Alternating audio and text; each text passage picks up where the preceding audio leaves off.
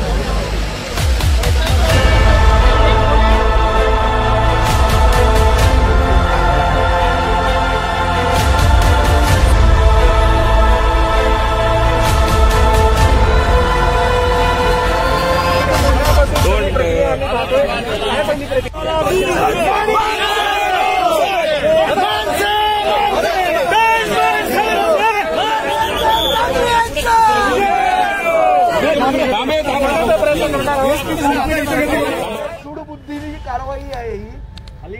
उदाहरण देण्यासाठी म्हणून मी सांगतो जे एकशे त्रेपन्न आणि एकशे छप्पन कलम आमच्यावर लावलेलं. एकशे त्रेपन्न कलम आहे गाडीच्या टपावर बसून आम्ही प्रवास केला. आम्ही केला होता का? नाही.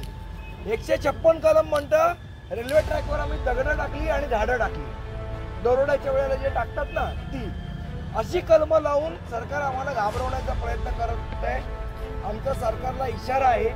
या असल्या गोष्टींनी घाबरणारा महाराष्ट्र सैनिक नाही.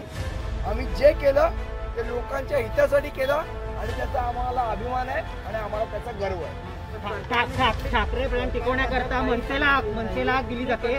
मात्र मनसेच्याच कार्यकर्त्यावर असे गुन्हे दाखल होते काय सांगाल? नाही नाही. हे जे सरकार आहे ना हे घाबरलेलं आहे.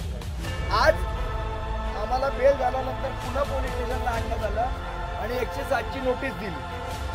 ते काय तुम्ही आम्हाला घाबरवताय? आम्ही काय गुन्हेगार आहोत? आम्ही काय टेररिस्ट आहोत? आम्ही काय आतंकवादी आहोत? काल जेव्हा एफ आय आर दाखल झाला आम्हाला माहीत नव्हतं आमच्या अब्दुल भगत यांच्या घरी. चार वेळेला पोलीस गेले. त्यांच्या पत्नी एकट्या होत्या. त्यांना धमकवण्याचं काम या पोलिसांकडनं झालं. ही पद्धत आहे का सरकारची वागायची? ही लोकशाही आहे. आणि आमचं काय म्हणणं होतं? ट्रेन चालू करत यासाठी चर्चा करायला पाहिजे होती सरकारने. डोक्यावर बंदूक ठेवून लोकशाहीमध्ये होत नाहीत गोष्टी. लोकशाहीमध्ये चर्चा केल्यानंतर त्याचं सोल्युशन निघते. डोक्यावर बंदूक ठेवून आम्हाला घाबरवून त्याचं सोल्युशन निघणार नाही. आज जनता याला पूर्णपणे वाटतंय की ट्रेन चालू व्हाव्यात. याचा सरकारने आजही विचार करायचा मनसेची अलर्जी असेल तर त्यांनी रेल्वे प्रवासी संघटनेची चर्चा करावी पण चर्चा करून सरकारला मार्ग हा काढावा लागेल ही लोकशाही आहे सन्माननीय बाबासाहेब आंबेडकरांनी आम्हाला दिलेला अधिकार आहे.